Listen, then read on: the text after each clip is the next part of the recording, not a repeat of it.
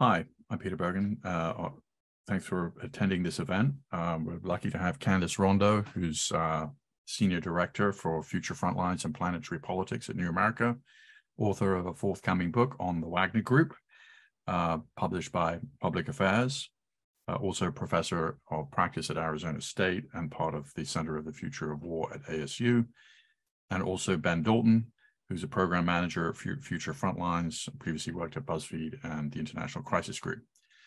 So let's just dive straight in. Um, I guess uh, seems that Prigozhin has landed in Belarus, according to some news reports. So Candace, uh, is he going to get a warm reception? Is he going to get um, put in jail? What's going to happen?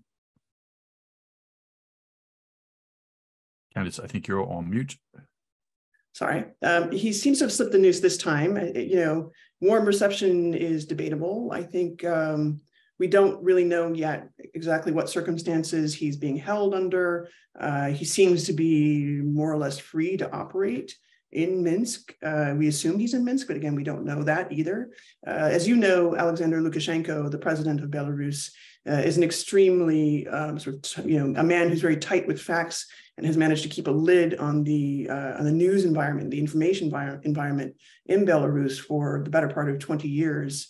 Uh, I mean, basically, he's kind of the um, lesser twin brother of, of uh, Vladimir Putin in the sense that he's, you know, the, the dictator next door. And so we don't know actually a lot about the circumstances there, but we do know that um, Prigozhin uh, released a statement saying uh, essentially that Wagner would be operating uh, from Belarusian territory, which seems to say and signal that um, it doesn't really matter what happened with uh, the, the mutiny that happened over the weekend.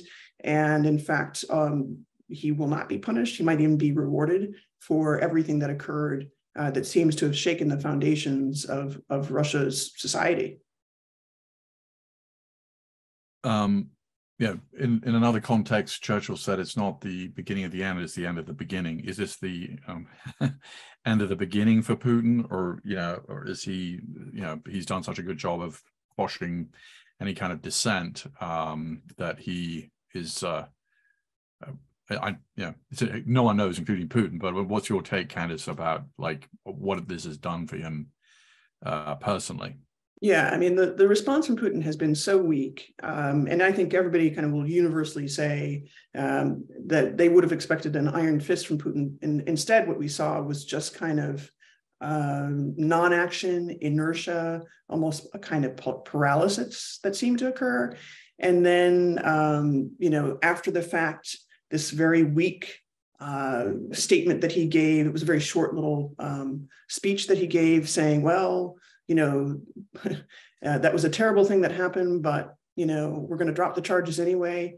It's it was a really confusing message, and I think the one thing we can say about Vladimir Putin is that he's been pretty on message for the better part of his 24 year reign, right? So uh, I've never really seen a moment where um, you know Vladimir Putin hasn't controlled the narrative fully. Um, he is definitely not writing this chapter of Russia's history right now.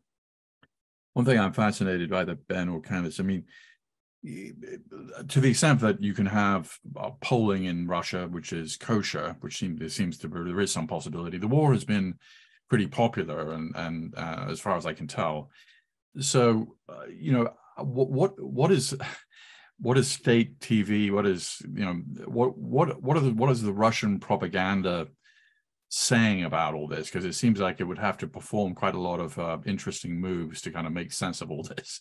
Yeah, listen, I mean, I I know Ben's been tracking this, so I want to hear from him for sure. But I, I think it's really weird to watch um, these like kind of state-backed outlets like Sputnik and RT.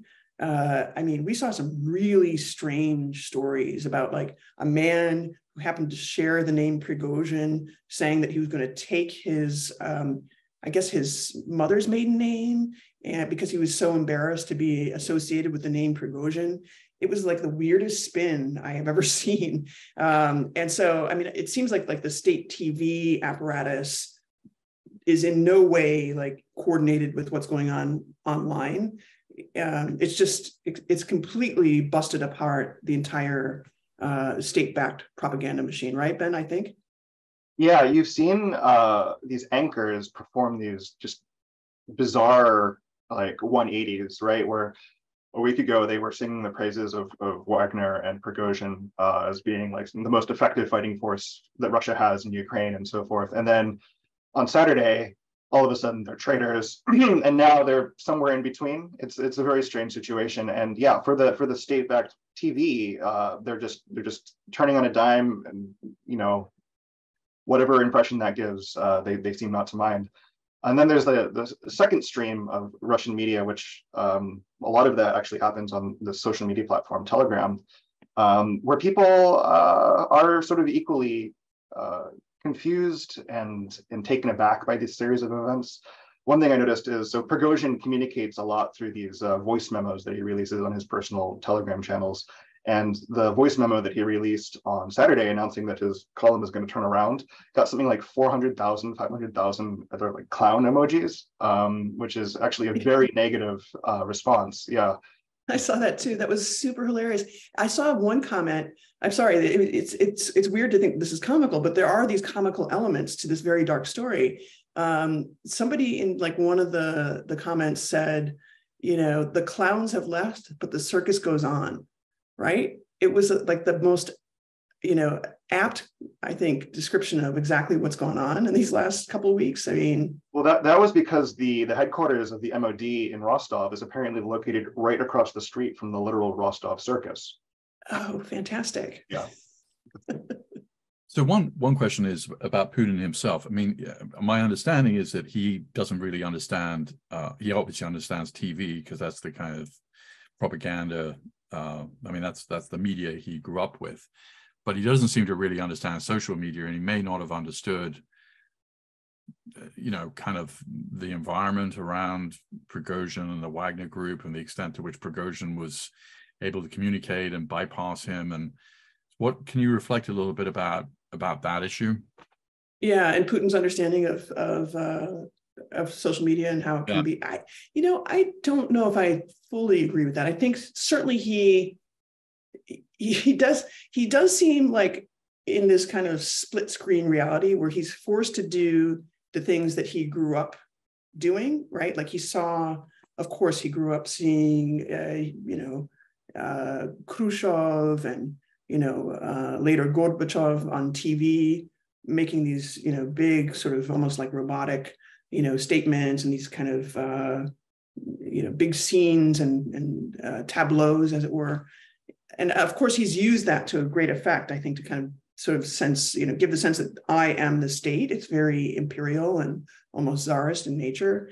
Yeah that doesn't really play so well on social media. That's just i think the reality is you know there are certain types of political ideologies that play well on social media and some that don't right? And that's one of the things that he failed at is understanding how to flip the script. And that's why he relied on Prigozhin so much. Prigozhin did understand that there was this whole emergent kind of super conservative um, Christian Orthodox uh, base that he could play to. And frankly he had the backing of you know several uh, very important oligarchs like uh, Konstantin Malafeyev is, of course, one of the best examples of that. Um, head of Marshall Capital, one of the biggest backers of um, some of the contingents that were sent into Crimea back in 2014. You know, I mean, so I think, you know, Putin in a way was sort of um, outsourcing a lot of that work to Prigozhin, and that was his great utility. May I ask you, how have the sort of the liberal opposition to Putin reacted to all this? Because it must put them in a bit of a bind, because you know, obviously they're opposed to Putin, but Prigozhin is, uh, you know, hardly um, uh, a liberal Democrat in his sort of impulses and worldview. Yeah, Ben, what do you think? I mean, you've seen this kind of play out too.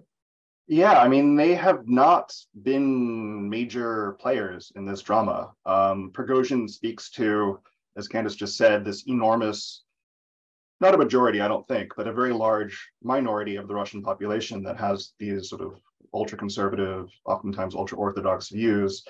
Um, and that group of people is very, very angry about um, what they see as sort of feckless, ineffective uh, prosecution of this war in Ukraine.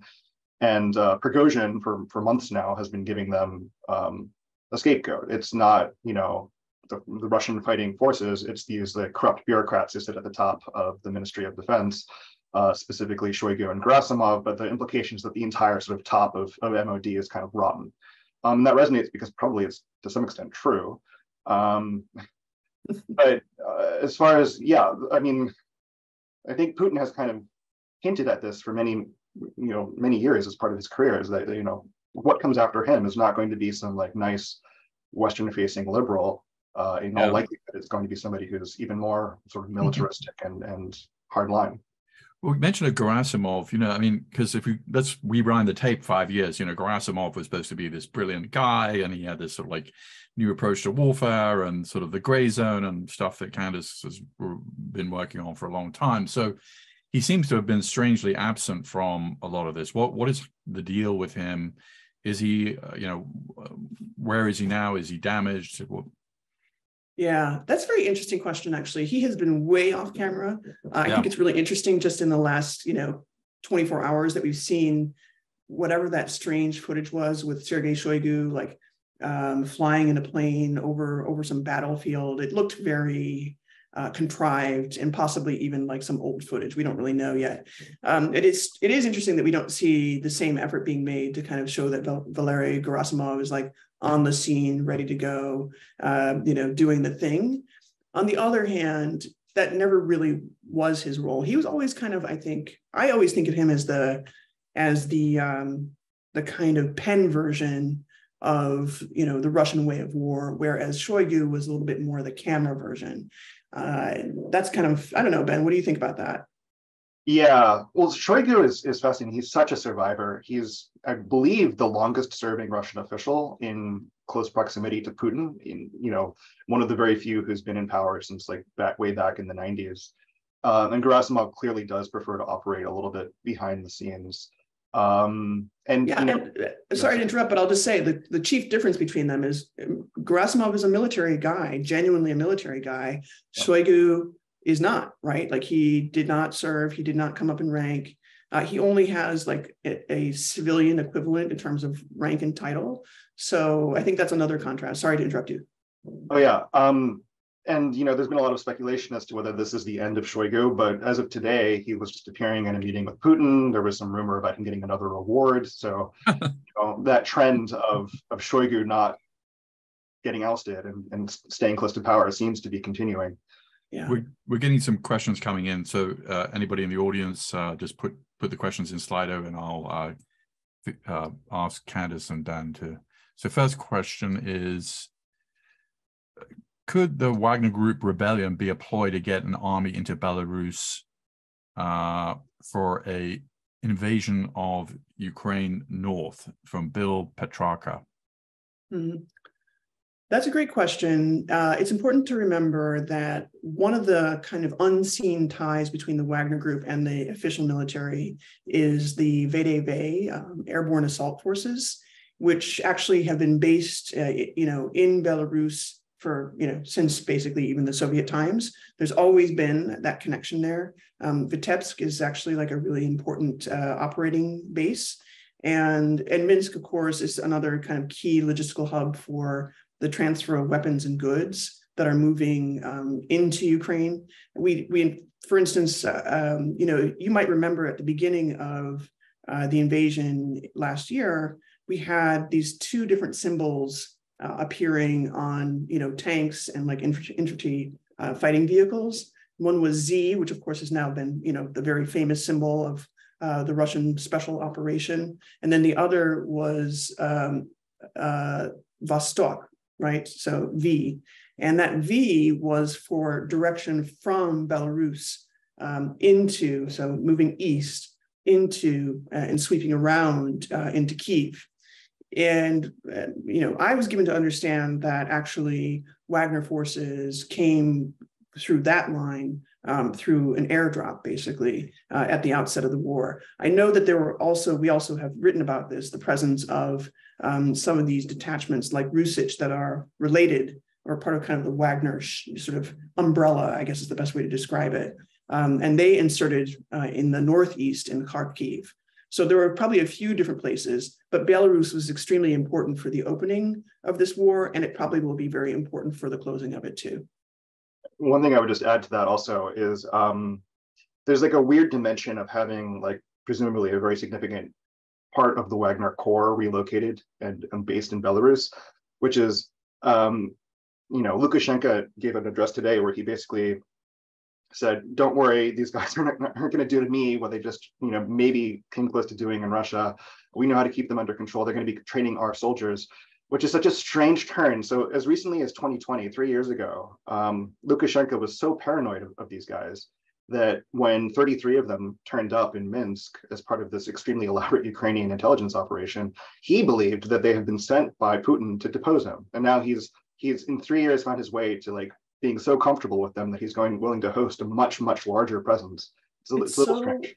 It's so Yeah. weird. I mean, because I what I also think is weird is the way Lukashenko was like, oh yeah, I've known Prigozhin for like 30 years, which I think is probably not wrong. It's probably true that like Lukashenko has been to many a state dinner uh, or even like sort of uh, some sort of shuttle diplomacy where he has rocked up in Moscow or St. Petersburg and had dinner with Putin or somebody, you know, very normal, right?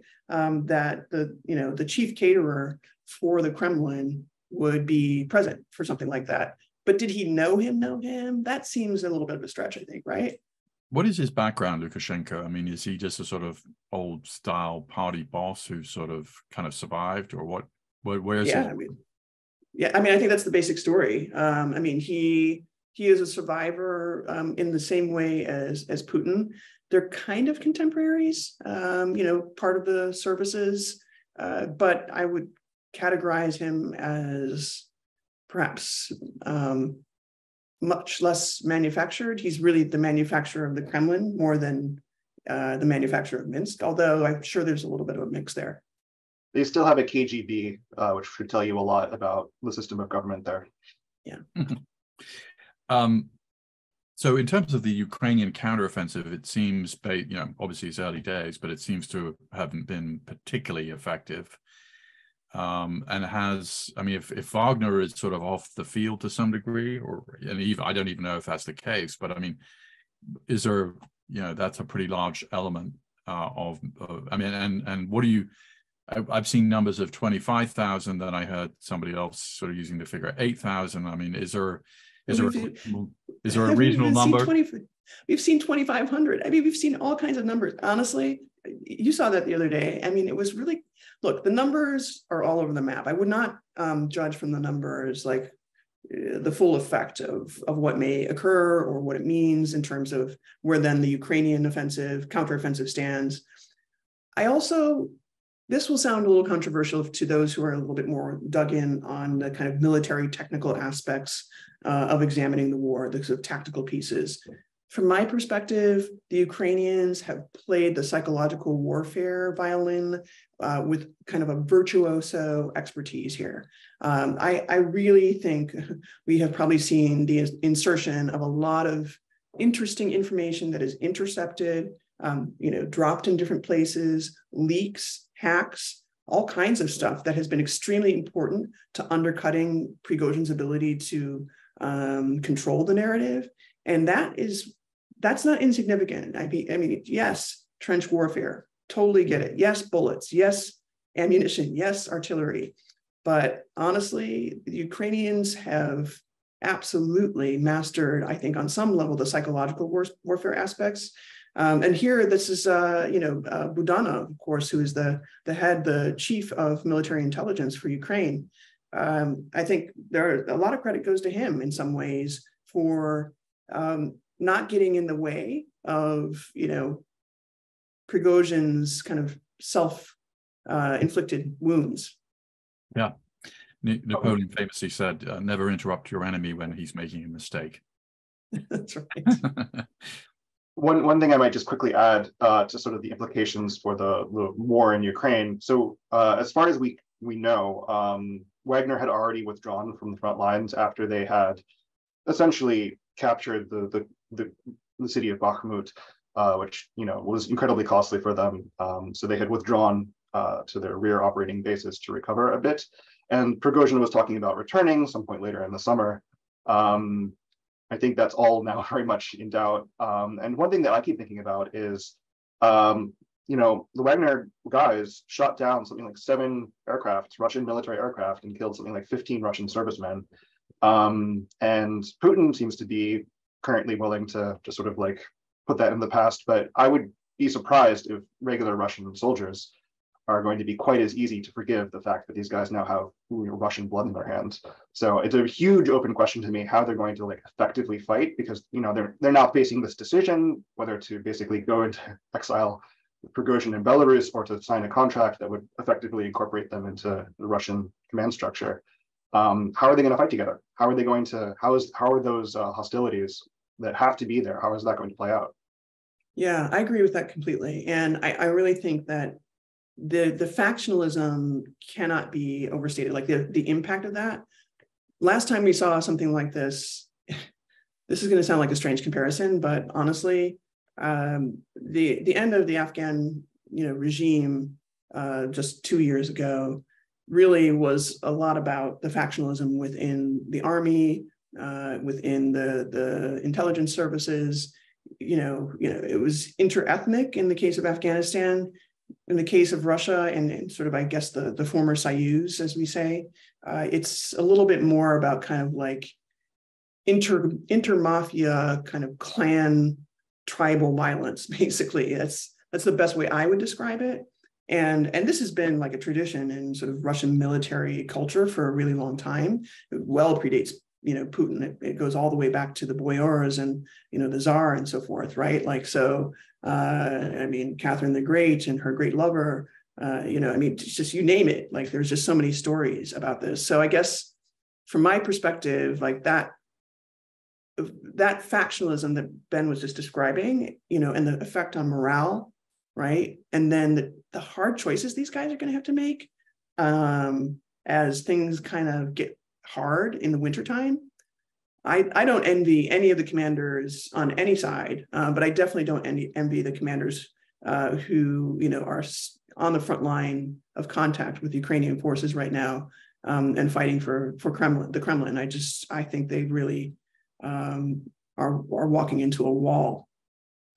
You know, on Saturday, Putin invoked the 1917 revolution and kind of rewrote history a little bit about a stab in the back, and you didn't really explain that, but um, you know that must have been what was on his mind. And the 1917 revolution, of course, was prompted by Russia essentially losing World War One and leading to soldiers mutinying. So that and and of course, uh, Putin is a student of Russian history, even if he often uh, expresses views that make no sense, like Ukraine has never had been an independent part of, uh, never had any independence but it must be playing heavily on his mind. You mentioned the Afghan uh, Afghanistan, Candace. Obviously, 1989, Soviets pull out. You know, the Berlin Wall falls down, uh, falls. The Soviet Union implodes within two years. Uh, 19, you know, the Romanovs lose the Russo-Japanese War of 1905. They also lose World War One, and they're put in front of a firing squad in 1918. So all that must be playing on his on his mind. What do you think, Candace? He what he know he knows that he's got a big problem. I mean, he, he he's not winning the Ukraine war. He may well be losing it. Um, you know, what can he do to reverse this big problem he has, which he's got a, a losing war or a war he's not winning. He's got this, you know, the Wagner group, and he's shown to be weak. And the security service you mentioned when we were talking earlier before the program, you you suggested that there may have been some degree of collusion with other parts of the security establishment because he just cruised to Moscow so quickly. So what what does Putin have to do to reestablish his control? Mm. Well, you know, Peter, it's interesting that you mentioned the Bolshevik Revolution. I will say that again, just keeping in mind that he's a St. Petersburger, right? Like, so he he grew up in that city, and in his mind, there's lots of stories in St. Petersburg. Obviously, the siege uh, during World War II is like you know it's kind of the weave of his psychology because his father and his mother suffered so greatly from it, right? Uh, we all know that kind of story about him. But one of the things, uh, and this is like real narrow, you know, deep cuts Russian history stuff. Um, but for most people who've ever lived in St. Petersburg, they will know that the Kronstadt Rebellion of 1921 uh, was kind of a major flashpoint in the evolution of the, the Bolshevik party's kind of uh, rise to power. And exactly as you say, it was uh, it was actually the way in which Russia was prosecuting the war against the white Russians that um, mm. was the matchstick there that lit that tinderbox. And you know th- these sailors in Kronstadt in, in the Gulf of Finland, just a little bit north of uh, of St. Petersburg, uh, basically you know rebelled and and and held forth and I think what he probably was flashing back to was that moment, to be honest with you. I, am pretty confident that that's what was going through his mind, um, because any, I think any good student of Russian history will know that that was extremely important. Um, in terms of the reversal, you know, there's nothing he can do at this stage. I mean, there's no, there's no, you can't, you know, unwind the clock. You can't sort of turn it back. There's, for him, you know, politically, he is beyond a lame duck, right? Like he is just basically politically dead. I, I don't see, um, you know, him. Yeah, he could remain in power, right, because it's useful for him. Um, but it's it's pretty clear that there are other factions, um, both in the oligarchy and in the military and the secret services, right, that are kind of instrumentalizing him and the presidency. I'm not saying that he's not directing things. That's of course he's clearly directing things, but it, it, he seems to be buffeted right by these these uh, interfactional forces. And, and we saw this movie you know in as you say we saw it in 1905 we saw it in 1917 we saw it again in 1991 and 1993 um, you know those are the the four major points. Some people would argue chechnya. Uh, i would just say that in terms of just the the russian on russian clash pure and simple those are the four points uh, where there was just no no returning. And I think we're kind of there, right, Ben? Yeah, yeah. Um, I, we typically try to avoid engaging in this kind of like speculation as to Putin's personal psychology because it's of extremely limited value. But if I may, just once, uh, we we we know that for for years, uh, Putin's great fear has been to wind up like Gaddafi in Libya, wind up like Saddam Hussein in Iraq. And what happened uh, when you know this military, this, this this mutiny came within roughly 100, 200 miles of Moscow? Everybody fled. Um, all of all of the people that that Putin was relying on um, to sort of keep him safe, you know, they all got on their planes and and and ran off to Turkey or St. Petersburg or various other locations. Uh, and I think he's just in a, a, tailspin right now. He doesn't he doesn't know what to do. He he feels paralyzed. Um, that's why you get these weird things like yesterday they're announcing, uh, you know, this is going to be the speech that will determine the future of Russia. And then Putin mm-hmm. pops on, talks for five minutes, and then leaves. Um, the other thing I just want to mention, um, we're already kind of moving on from this, but there was one very strange moment on Saturday where uh, Prigozhin had just taken over the city of Rostov and the Ministry of Defense building and he releases a video of himself sitting down um, with two guys. One of them was um, Alexeyev, who's the deputy head of the Russian um, GRU, military intelligence. And he basically says, uh, "You want Gerasimov? You know, take him." His boss, right? You know, that's that's how deep these these factions are are now running in the Russian military, which is, I think, incredibly dangerous. And as Candace just said, I don't see how he puts that back together. Well, who who left? Um, because that that is because you saw these reports about planes leaving, but I mean, who uh, who who of significance left? I don't think we know yet. I mean, I, I, I will say that um, the signs that this is a real deal will be um, if you know the likes of um, uh, you know Nikolai Troshev or you know some of these other folks that have been really close to him. We, we've been talking a little bit about Alexander Kuznetsov, uh, who goes by the call sign uh, Ratibor, uh, one of the chief commanders, and, and actually filmed many times on camera in Bakhmut, has become kind of a weird secondary folk, folk hero, along with another guy um, named uh, Anatoly Yelizarov, who is also goes by the call sign Lotus. He, he has been front and center uh, along with Troshev uh, along with uh, Kuznetsov on camera much more this year than I ever would have predicted or expected. And so if we start seeing them appear somewhere in Belarus, then we know um, essentially that this is basically a kind of a sweetheart deal. And we should expect to see, I think personally, um, a, a changing of the guard in the Kremlin pretty shortly thereafter. That's my own feeling. We have half an hour left and a lot of questions. So I'm going to uh, get to those. Uh, let me start with this one from Daria. Uh, she asks, um, do you think this will be an excuse to shut down the internet? The prosecutor's office was on it, removing Wagner from media on, and online platforms, etc., during the mutiny. Yeah, I love that question. Um, thank you, Daria. um, because I thought it was really funny that there was like this announcement. I think we stumbled across it when we were looking at Telegram, maybe. And there was some announcement that um, all of Yevgeny Prigozhin's Patriot media outlets have been, you know, crushed and, and taken offline. And it did appear that they were taking some things down. So, you know, a few of the VKontakte groups that we had been following uh, seem to be stripped away. Uh, but listen, the the empire is so huge. It's it's kind of hard. It's un. It's kind of hard to quantify like what's there, right, Ben? I think ultimately, sure, there's this stuff that we know he owns through uh, known shell companies, and then there's a bunch of stuff that we don't know about at all. There's like random websites. Um, listen, there's stuff even on .su, like the old Soviet, uh, you know, registry, domain registry, where you know they talk to each other and all that stuff happened. So i honestly think you know perhaps they they pretty quickly realized that it was a bit of a futile act and that they wouldn't be able to pull it off. And sure uh, shutting off the internet totally possible but then like how do you communicate? How do you you know right? Like the problem for them is the problem that any country would have if they were in the middle of an emergency and then you shut off the internet. Like hmm you know you just don't know what you're cutting off and then you can't communicate during a crisis.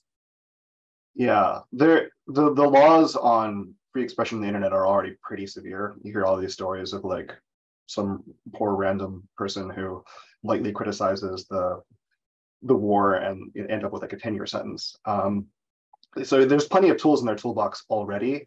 Um, it was yeah as candace said they they took down a bunch of VKontakte groups that we had been following for a while some big ones but there's still a bunch of others that are still up because it's like playing whack-a-mole there's so many of them um, many of them sort of organically springing up unclear what their their actual uh, relationship if any to the to the existing wagner core and then also you have the spectacle of you know so all across russia they have essentially recruiting advertisements on billboards on walls and on Saturday, they took them all down. And on Sunday, they put them all back up. And it's like recruitment appears to be continuing. It speaks to this incredibly strange situation where one of the most, this, this military formation that has been valorized extensively um, in Russia um, suddenly turns around and, and potentially comes close to th- overthrowing the government. Um, it put, puts the U in this very like almost schizophrenic state. Um, know.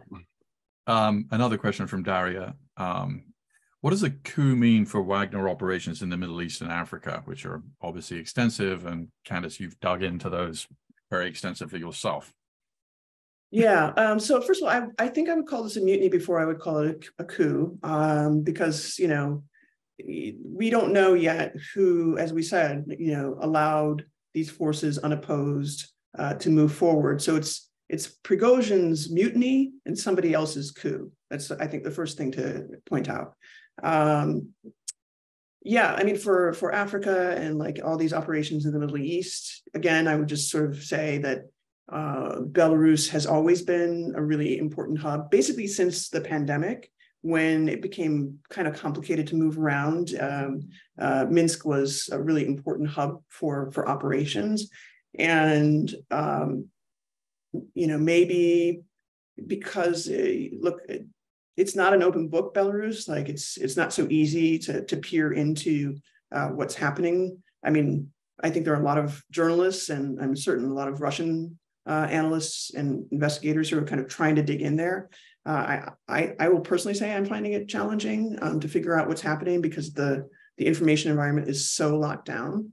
Uh, we've been looking and looking and looking, and um, but I think you know, in a few months' time, you know, it will become pretty evident that they're still relying very heavily on the smuggling uh, that takes place in in CAR, uh, in Sudan, um, you know, Mali. We know that weapons are kind of like flowing back and forth now and that that will be very key for resupply for whatever they plan to do, uh, potentially sort of in Western Ukraine um, or you know around the Kiev region.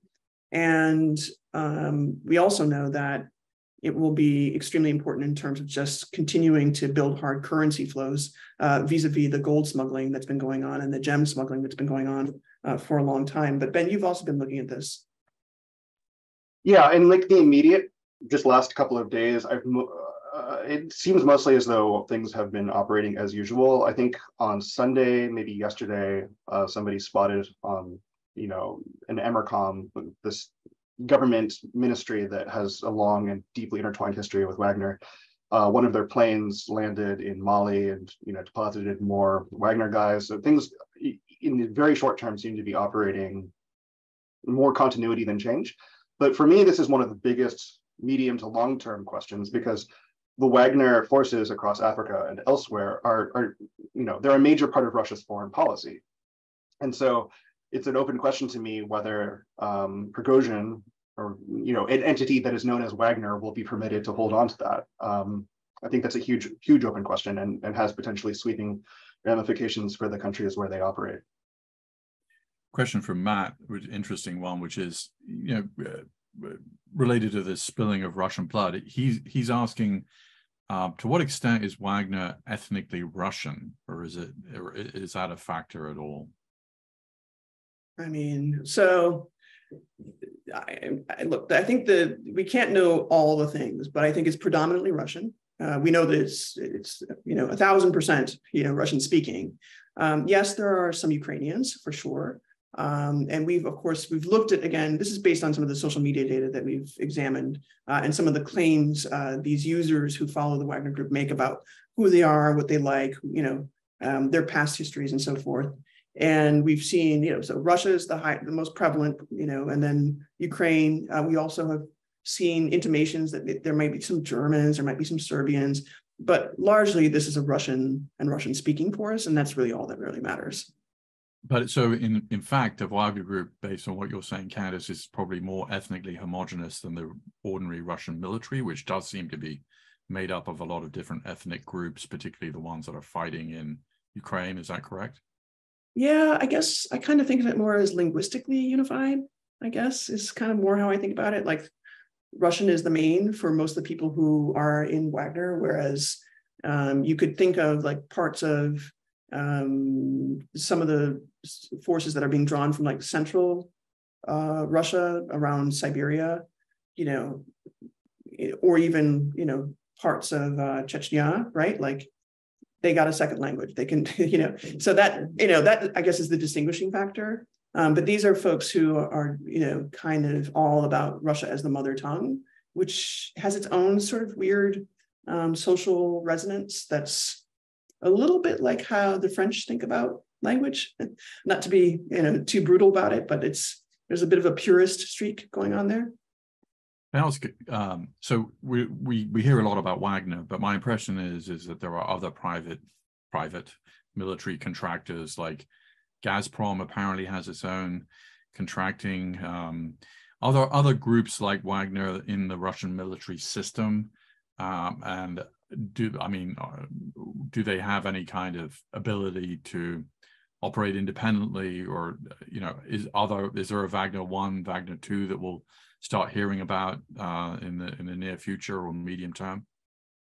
Uh, so we definitely could see like a totally different brand come, you know, move forward, right? Like it could just be like Wagner is gone. It, you know, we don't know when that's going to happen, but it's. I think we've long thought that that's a possibility. That it's sort of something that's, it's you know, the the brand Wagner is as expendable as Prigozhin himself in some ways politically, right? And so uh, and the evidence of this is simply that we know that there are these other PMCs like um, PMC Redut, which is basically attached to the 45th uh, Army Division. Uh, you know, uh, they've been operating in Ukraine for a very long time, in and out of Ukraine. They've been they were in Syria too, um, and they're they're pretty serious. They're they're a little bit of a different animal, uh, and they have kind of a longer history uh, and they represent a particular faction, but they too have worked for Gazprom. They've worked for Stroytransgaz.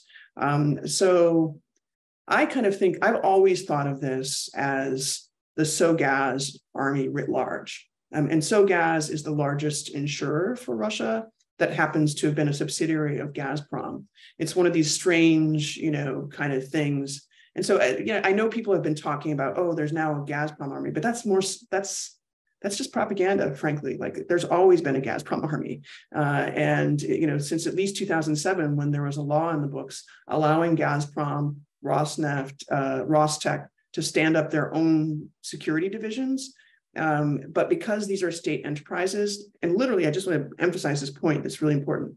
Um, the CEO of Gazprom is presidentially appointed. I mean, you know, it's not Blackwater, guys. It's just not. The president of the United States does not like appoint, uh, you know, the CEO of ExxonMobil and then have him raise his own army. It's just not an equivalent. So I think it's really important to make that distinction. One, yeah. yeah. So just a quick little add-on to that. Um, one of the the interesting things that has come out of the events of the last couple of days is basically all pretense of Wagner as a non-state sort of run entity have been dropped. Today, mm-hmm. Putin has literally came out and said that they had funded it to the tune of something like a billion dollars. Um, and then the the man I mentioned earlier, Alexeyev, uh, on Friday night when Wagner was marching towards Rostov, released a video um, basically like pleading with Prigozhin, you know, you and I, we've been co- coordinating for so long. Again, this is the deputy head of Russia's military intelligence. Um, you know, so just all pretense of of just how close this relationship with the Russian state is has seemingly been dropped. Yeah, which certainly complicates Putin. Any, I mean, a potential war crimes trial against Putin. I mean, his own statements about how much support he gave the Wagner Group presumably would be pretty useful for prosecutors. Hundred percent. Uh, I, I mean, what's very interesting is I, I just sort of, you know, these little voice memos and like, you know, all the filming of the, you know, the different people that he's associating with and trying to cajole and convince. It's as if there's no thought to the prospect that, in fact, like he's he's really writing the script for the prosecutors um, who are who are looking at him, and that's largely a function, I think, of the fact that they they could not operate without social media now, right? Like that because it, it's it's a social movement. We've said that all along. That one of the, I guess, sort of magic tricks that Prigozhin has performed with some help, right? With the help of uh, Konstantin Malofeyev, with the help of uh, you know uh, Borodai, who of course is a member of uh, the Duma, one of these really extreme sort of ultra conservatives you know, uh, even Girkin, even though they don't, they obviously clash and they don't get along, and there's, you know, there's a big kind of separation there. Um, but the magic trick that Prigozhin has performed is that he has created an identifiable symbol, right? We've got the skull, we've got the, you know, sledgehammer, we've got the masked guys, we've got the gray zone stuff. All that stuff, it's, it's a little bit like McDonald's, right? Like it's literally like he's the Ronald McDonald of this war. And he has created this thing that people can, can get behind and be like, I want my Big Mac of, you know, Russian aggression. And, you know, it's, it's really like, so that magic trick is extremely important. And I, and I think that basically um, they, they wouldn't be able to survive without that. And so they're in this strange catch 22 that they may not yet understand, but they probably will if they're ever brought, brought to, uh, to justice in the tribunal. Any lessons for President, Chinese President Xi Hmm. Um, think twice before you hire Russia to develop your paramilitary force, I guess. One thing we've talked about in the past, Candace, is I mean, the Chinese have, you know, even though they could afford to, really haven't engaged in proxy warfare in the way we understand it. I mean, in terms of having these private military contractors carry out um, state, you know, kind of aims. Uh, I mean, it, do you think Putin um, I, I, you know, when you look at, let's say, the Assad regime, there are multiple intelligence agencies because when you're a dictator, the one thing you fear most is a military coup. So they're all sort of spying on each other, and presumably this is part of the way that Putin has operated. But um, you know, do you think there's a, a, world in which he would say, "Well, that didn't work out very well. Uh, I'm going to, you know, sort of reform things." I mean, I guess this July 1st MOD order to put Wagner inside the Russian military was an attempt presumably Putin must have ordered that ultimately, right? Or or not? Mm. I think Putin acquiesced to it. I don't think he ordered to it, ordered it. I think he acquiesced to the, the pressure and basically, you know, because you know, it's been years that these guys have been off the chain and unleashed. And, you know, it wasn't until Bakhmut that really it became a problem for Shoigu, right? And it was kind of a problem in Syria, but not really. It wasn't a big problem. Uh, lots of people have theories about that 2018, uh, you know, clash between U.S. forces and and Wagner forces, but there's a lot behind that story that doesn't quite fit with many of the theories out there. Um, on on China, a couple little two finger things, I guess I would just say. Um, quite a few Russian contractors actually work for Chinese companies. Um, you know, if you're if you're a pretty uh, adept Russian operator, you could make some pretty good money, um, and you can make it by, uh, you know, doing this Belt and Road Initiative uh, protection services. And we, you know, they're present in Pakistan. Um, that's kind of one of the reasons that they're in Afghanistan. So there's a relationship there. I'll just point that out. And it, there's actually been some pretty good scholarship uh, on this uh, by a, a, few folks, actually. Um, so that's something to point out. And I guess from a just a kind of grand strategy perspective, you know, in China, no, it, there's no redo here. Like it's it's if Xi knows his business, which I feel like he does, um, he's going to see that this is a militarily weakened force and maybe more sees an opportunity uh, to kind of exert some more uh, influence over the Far East, which of course has been growing for years now.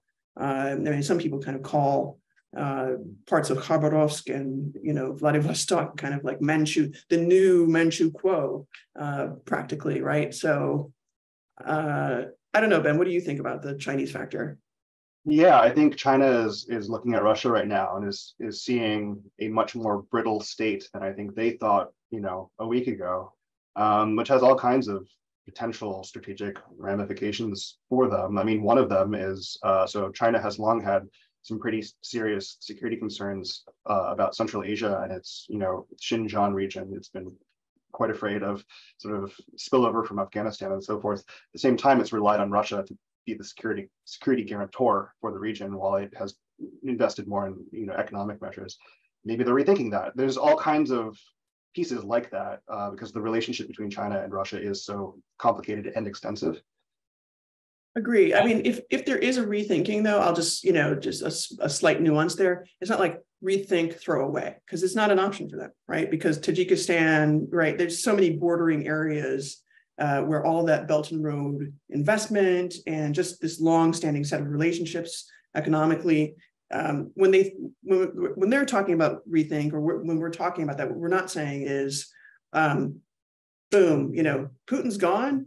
Well, I guess we just you know, we'll replace him, you know, and that will be fine. It'll be much more subtle. It'll be a lot more about sort of, you know, um, potentially exchanges of intelligence and information and kind of listening stations potentially in these border areas uh, that are extremely important to China's interests. I suspect that will be kind of the, the subtle tweaking that happens uh, in, in light of what's just occurred.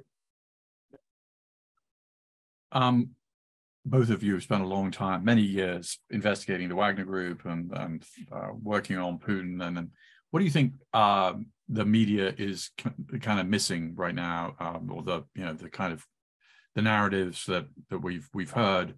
Are they mostly correct? Um, is there some kind of element of this that that you think is misunderstood well, look, I mean, there's a, distinction to be made between the Russian media and then like the English language press and the international media, I would say, sort of the Western press, as it were. Uh, let me just say, first of all, hats off to Meduza. Okay, just 100% uh, insider, Project, Meduza. Uh, these guys are pounding on a daily basis.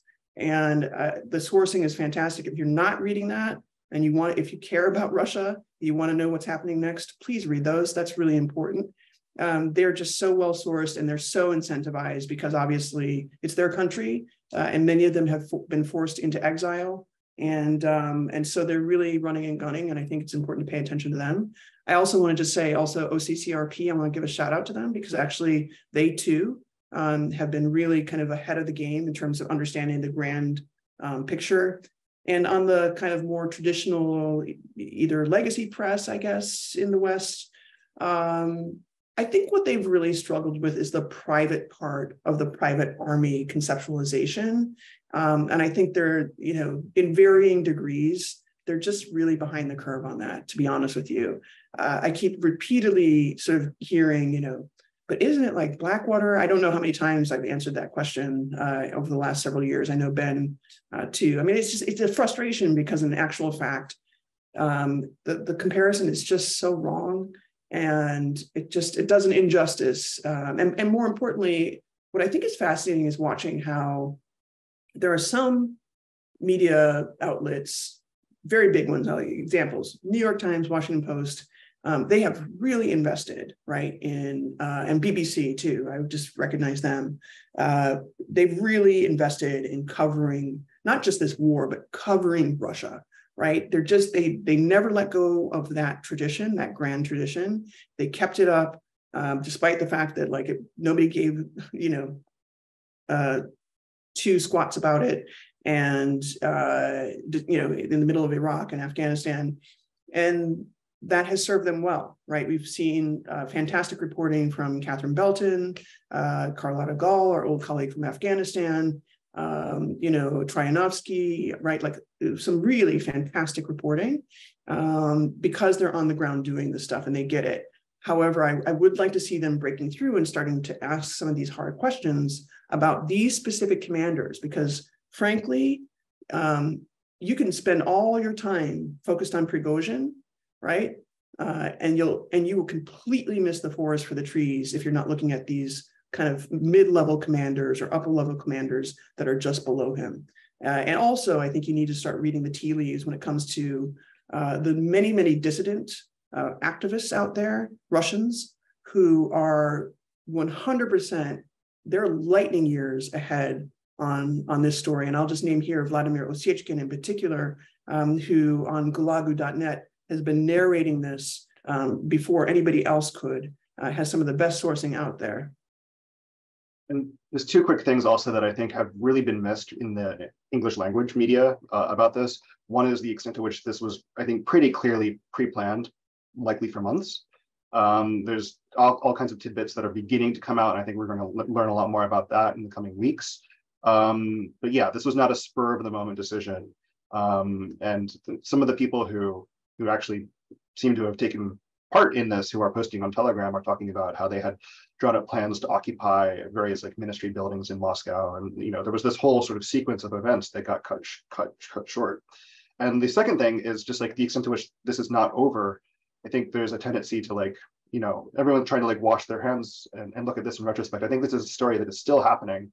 And the next shoe to drop might be weeks from now, might be months from now, but it's probably not years from now. This is more more is more to come. Yeah, and of course there was the reporting, uh, including by uh, New America fellow Shane Harris, that U.S. spies learned in mid-June that Prigozhin was planning armed action in Russia. So um, that I think sort of helps buttress what you just said, Ben. Yeah, I'm a little bit worried about that narrative. I feel like that's a little convenient. but that's okay. Um, it's I think I certainly get the sense that um, you know inside the U.S. government, inside the Biden administration, uh, the lights are on. People are paying attention. Uh, there's there's real effort being thrown at this uh, in ways that you know hadn't happened in in previous administrations. I must say, when I saw Biden come out and say the United States had no role in it, I, I, get what they're trying to do. But if you're a conspiracy theorist, that just merely confirms that the US behind it. But it is interesting that Putin hasn't really, has he gone down the route of blaming? He talked about the stab in the back and he's talked about, I mean, has he said anything that would implicate the West, or is he sort of steering away, steering away from that for the moment? It's so garbled and like really just off. I mean, I think even for Russians, like it sounds like nails on a chalkboard when he says, um, "U.S. Nazis garble garble Bandera." Um, it's you know Bandera yeah. being Stephen Bandera, the the Ukrainian, of course, um, who has been like the boogeyman uh, of Russians forever, but also since the start of this this war. Who I is mean, he, Candace? I, I don't. I'm not familiar with his name. Oh boy, I. You know what? I feel like if I if I try and do that, I might be hearing from a lot of Ukrainian colleagues. So I think I'll just say okay. he's an important historical figure uh, during World War II uh, who was involved in uh, trying to resist all kinds of things that were happening happening on Ukrainian territory. I think I'll leave it there. This is a little bit of like a, an Israel Palestine thing, so I think I'll just stop. Okay. Um, but yeah, so Putin's he's gone gone to the neo-Nazi well. Um, uh, is there any other well that he's that he's gone to in the last since Saturday to try and well, kind of explain? The whole like the, the neo-Nazi piece is so weird because they actually are neo-Nazis. And so, you know, because there's a lot of this symbology that the Wagner group uses. They, you know, of course, we know famously like uh, Dmitry Utkin. We see the, the the photos of him, whether that's really him. I guess that's him. I don't know. People say it's him, and he has like you know the SS uh, symbols on his neck and like you know creepy stuff basically. Um, so it's strange, but that's that's the bizarro world of you know Vladimir Putin's uh, through the looking glass universe, right? So you just don't know.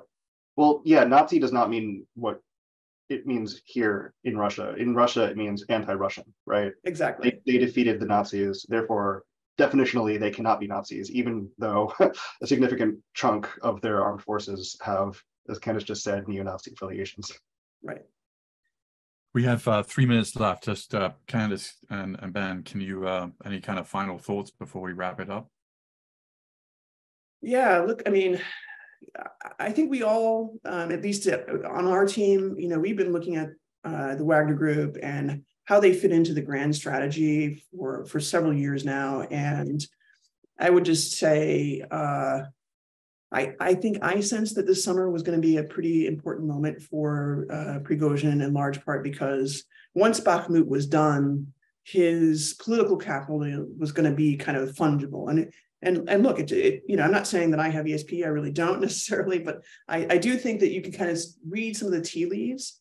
Uh, and some things I would really start to expect to see that's I think we should just keep our eye on um, if we're starting to see more mentions of a, a guy named Alexander Dyumin, uh, who is largely being talked about as a potential successor for, for Putin and has been for many years now. Uh, he's the governor of Tula. And you know, people have been chattering about the idea that maybe he's behind this in some way.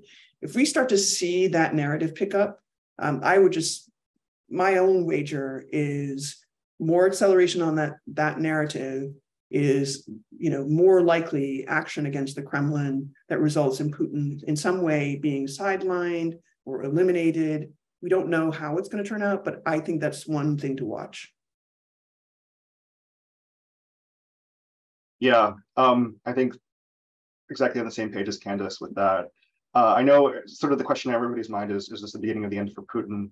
And I, I think, you know, never prognosticate, but um, I think it is. I think this is the beginning of the end for Putin. Um, and it, whether it takes months or years to play out, I think in retrospect, will this will well, I mean, really the invasion of 2022 is that was the beginning of the end, but this is like a major inflection point. Yeah, I guess I'd say this. It's episode 12 uh, in in like a 14 uh, episode season. Yeah, of course, the 1917 revolution played out in two parts. So, I mean, um, yeah, it, I mean, I'm taking away that this is not over yet from both of you. Not over by a stretch. Well, thank you. We know this has been a very busy several days for both of you. So thank you for taking the time to share your expertise with our audience. And thank you very much, Candace. Thank you very much, Ben. Thank you.